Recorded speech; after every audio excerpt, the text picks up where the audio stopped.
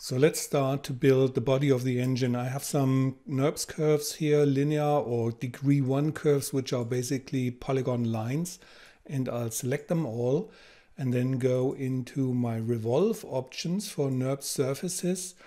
But here I would uh, define that I want to output polygons directly and just the control points. And the number of segments around should be 18 and the axis for the revolve would be the z-axis. So do the revolve here, which gives us a basic shape for our, for our engine.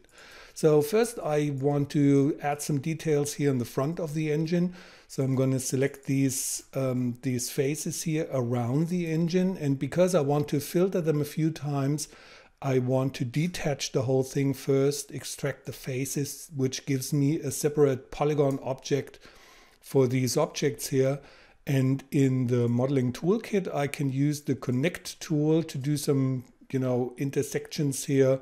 Maybe when I adjust the segments to something like three would be sufficient for me. I'll select all of the edges here. So I convert the selection and control double click the border edges so that we only have the inner edges. And then I would bevel these edges. So here we do some sort of a fraction. I want to have some facets or something like that, you know, that uh, looks a little bit more lightweight on this um, solid part here. And then I go into faces and then the next step I want to filter out only the bigger faces and I'm, I'm going to do that with selection constraints. Selection constraints allow me to filter something like all of the faces will be filtered here. That's why I have cut out this part and I will switch on the geometry setting here. So let me set this to zero first and I would increase this setting here. Now you see that the smaller ones are selected until the bigger faces are also selected and then adjust this so that the smaller edges are or the smaller faces are no longer selected, only the big ones here. And with this set, I will shift right mouse button extrude these faces along the Z axis into the into the minus region, so a little bit something like this here. So in the next step, I want to extrude these little edges, these little edges here, which is a question, how do we select them? Because I don't want to go around and click all of these edges here.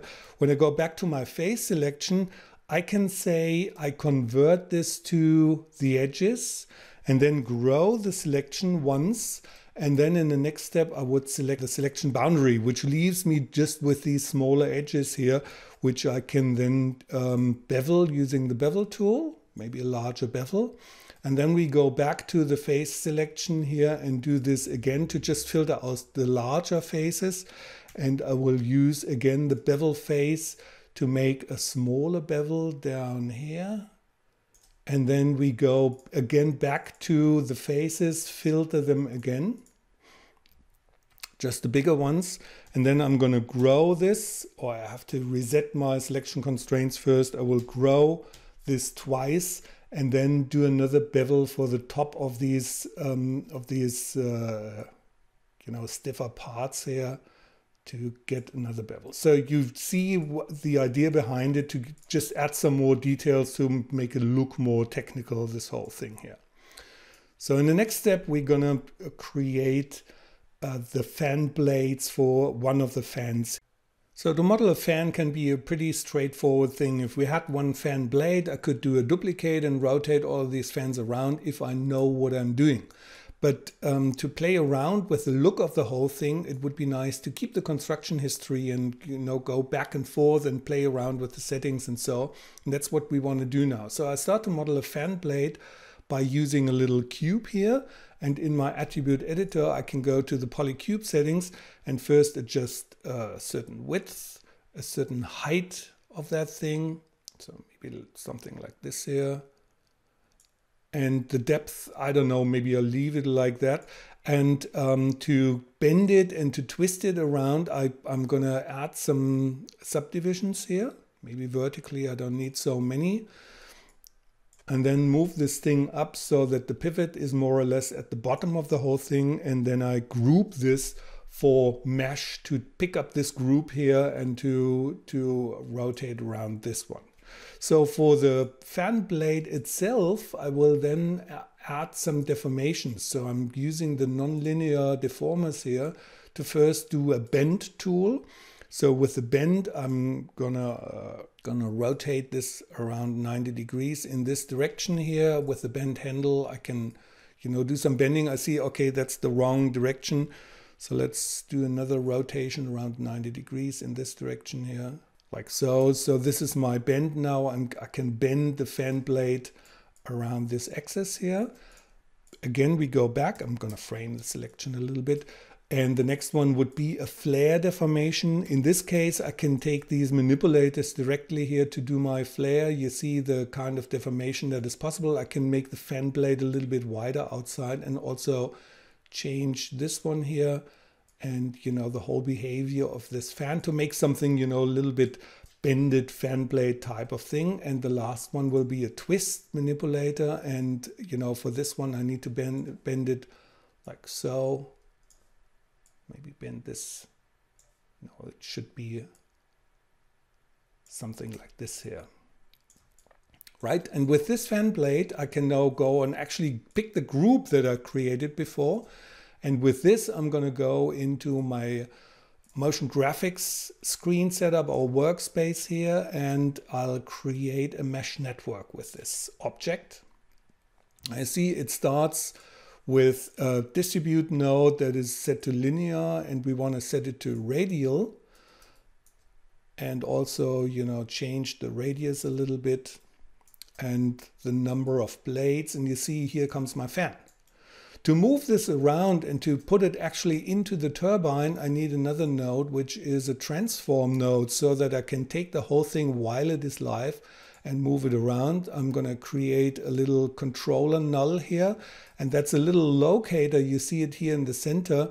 And when I switch on the display handle, I can at any time when I miss the selection, I can go anytime back and take this controller or this little null node and uh, pick it and, and move it around. So this way I can move the blades in inside the turbine and go back to the distribute node and for example change the radius, you know, something like this. And if you see, when you see, you know, the, the whole scaling here is not right, just go back to the original object here in the outliner down here we see the original object in the group. So I can take the cube either the cube or the group itself and you know change the scaling just so. And when I make it visible I can still go around and you know change um, any of these manipulators here. For example the twist handle when I go back to the manipulator I can change the twist of my of my fan blades, something like this. Maybe it should be the other way around, right? So we want to do something more like this here. And to have more of these fan blades uh, behind each other, I'd simply take this, make a duplicate, and then I can move this in the back. So that's my iteration for the, for the fan blades here. So that's a very easy thing. So to remove this whole construction history, I can Shift Alt D on this object here and then remove all of these. No problem. And in the MASH editor, I don't need this network anymore, so I can completely remove it. So these are the fan blades, pretty easy, straightforward thing. And the next will be some decoration for the body of the turbine.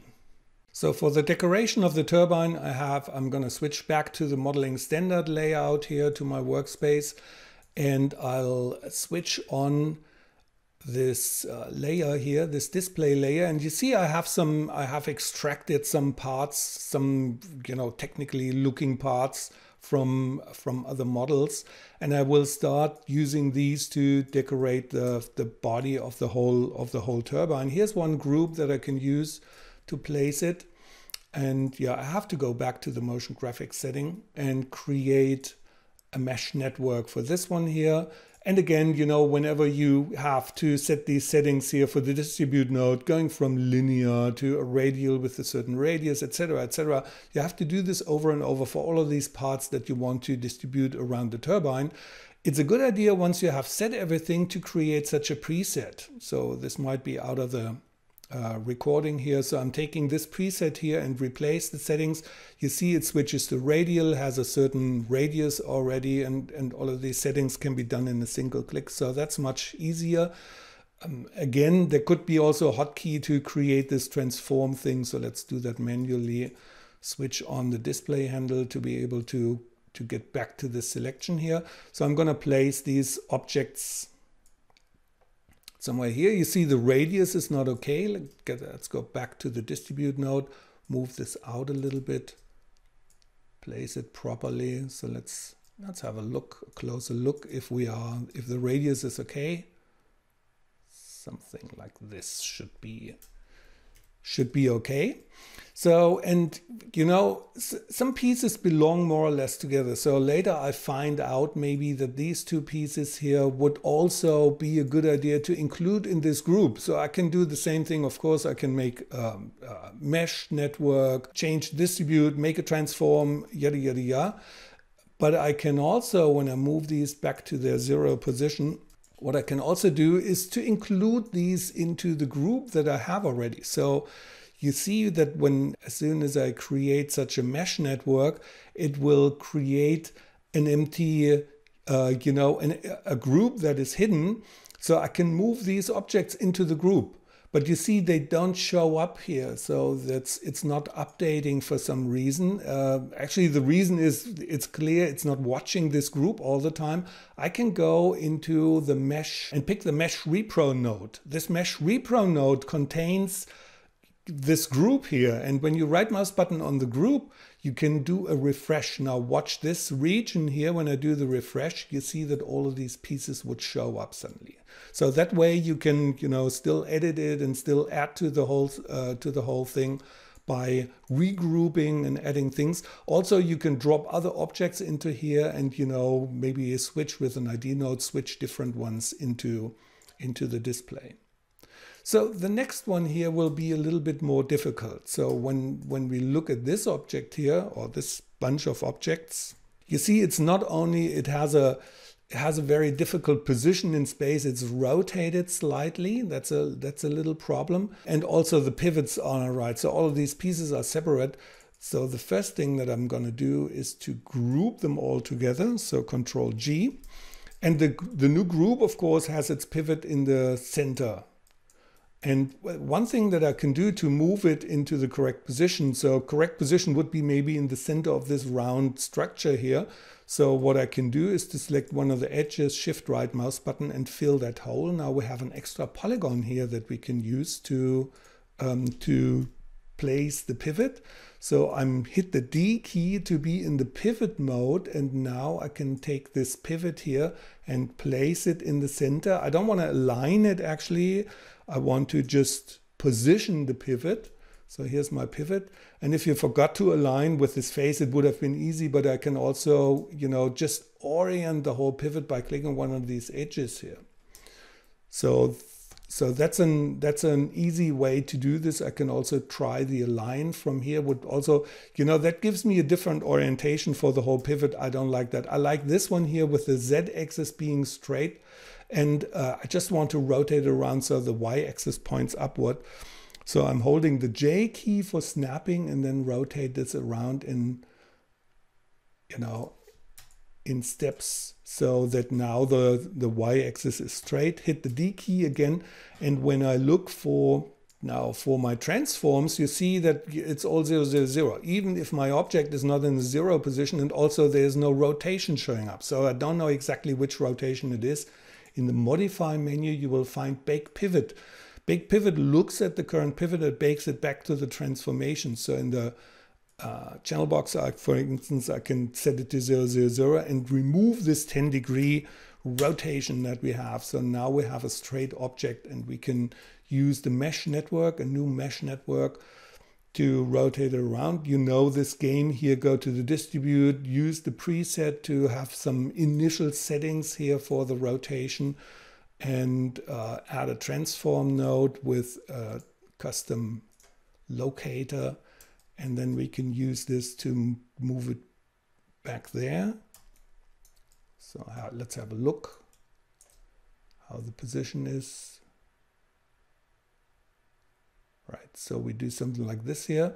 And I also would like to rotate the whole thing. I can use my um, my rotation, manip uh, my manipulator here to do this.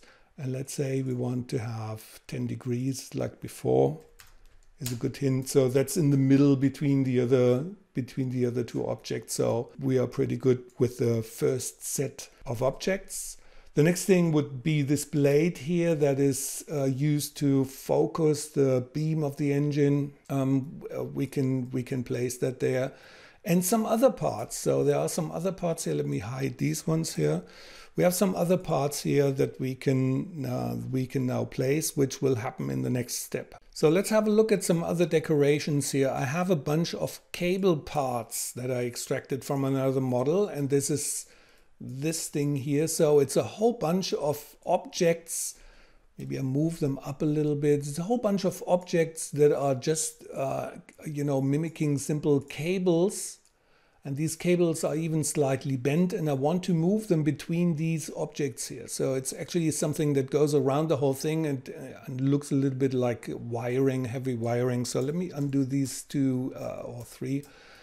Um, uh, sets here. So if you want to see what all of the objects are, of course you can take them all individually and spread them out like I just did.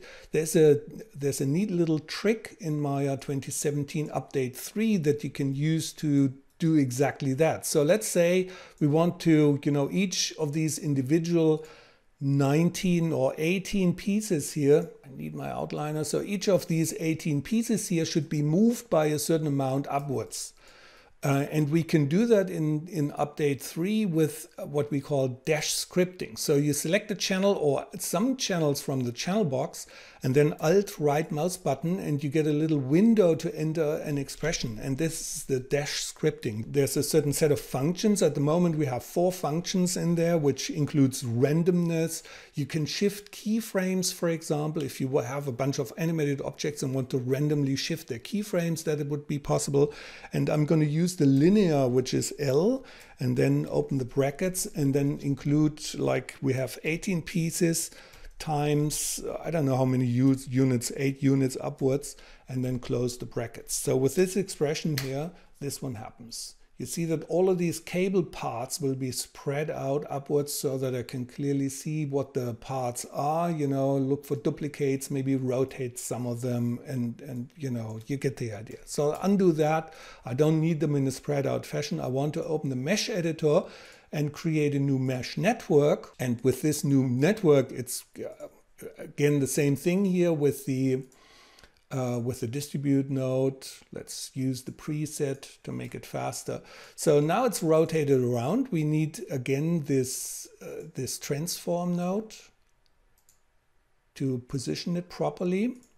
And now I can move this back here. You see the radius is not so bad. We need to rotate it slightly because um, you know we have a, we have some sort of an offset here. So rotate this like so. And unfortunately, MASH is only showing the first of these objects here. So maybe I'll in, uh, increase the radius slightly like so. So we have 18 objects, but it's only showing the first one. It's the same wire around the whole engine, which is quite boring. So I'll add a, a so-called ID node. With the ID node, I can say, you know, I want to switch between all of the objects that I had selected which in this case is 18. It, it, recognizes that number and you will find these 18 objects here in the repro node. Here are my 18 objects. And with the ID node, I can not only linearly switch between one or the other, I can also do a random, which would be cool in this in this place here. Because with randomness I can say okay maybe the distribution here on this side is not nice. Let's, let's take another random number and you know different random uh, distributions, maybe this one here looks nice, and then I can go back to the locator and move it a little bit to the middle uh, to make it look nicer. So that's an easy way if you have several parts that you want to place on the surface of your turbine that looks good already.